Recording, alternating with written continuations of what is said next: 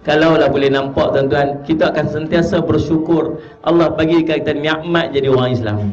Ni, sepanjang masa ni duduk naik ni, ni pahala-pahala kebaikan ni, sepanjang masa ni. Sepanjang masa. Sebab tu jangan lepaskan diri kita dengan zikrullah. Macam mana Ustaz saya nak kerja? Saya dah kerja urusan saya nak buat macam mana saya duduk zikir saja? Tak. Bukan zikir ini maksud semata-mata duduk bersila atas tingkat sejadah, duduk subhanallah. Bukan macam tu. Tanda ingat zikir ni ada tiga. Yang pertama, dia panggil zikir qalbi.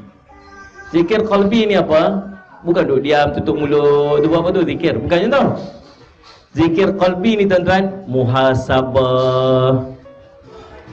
Aku dosa apa hari ni aku buat? Pahala. Mana Syed Eh takut silap cakap lagi Cakap lebih-lebih lagi silap pula. Saya si Muhammad. Itu zikir kalbi lah tu.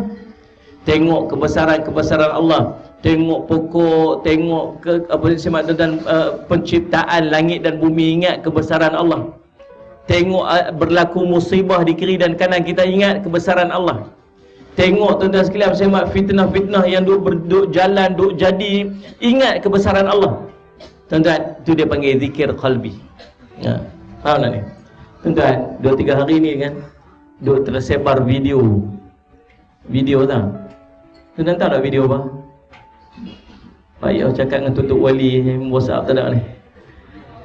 Duk main video. Saya, saya nak tanya tuan Saya nak beritahu.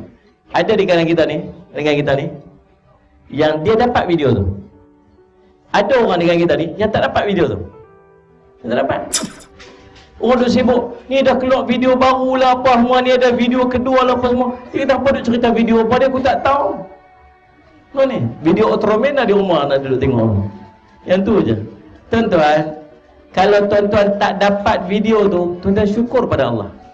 Tahu pasal apa? Pasal Allah masih pelihara kita lagi. Sebab nak dapat tak dapat tu bukan urusan kita tuan-tuan. Boleh saja Allah nak susun supaya kita dapat Semua benda yang boleh jadi dosa kat kita. Betul ni? Dan bila tuan-tuan dapat tuan-tuan sekalian apa-apa benda pun sama ada dia boleh jadi pahala boleh jadi dosa ataupun dia boleh jentik hati kita supaya kita ada ragu pada seorang. Tuan-tuan faham tak ni? Boleh jadi tak bercambah dosa tu bila kita tak puas hati kat dia dan kita forward pula pada orang lain.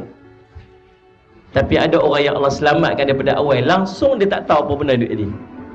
Kadang-kadang kita ni tuan-tuan biar jadi macam benda-benda macam ni jadi katak bawah temburung tak apa.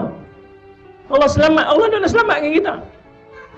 Tapi ada orang tuan-tuan Allah akan sibukkan dia dengan benda yang boleh merosakkan dia kehidupan dia dunia akhirat. Ada? Sebab tu tuan-tuan Imam Hasanul Basri Salih Allah Syahmat Ataupun Fudail bin Iyad Salah satu salah seorang daripada imam ni dia sebut Dia kata Salih Allah Syahmat Muhammad Alamat Ataupun tanda Allah mula berpaling daripada seseorang itu Ialah dia disibukkan dengan benda yang tak jadi manfaat kepadanya dunia akhirat. Dia disibukkan. Dua tak sempat buat. Quran tak sempat baca tapi duk sibuk dengan aib orang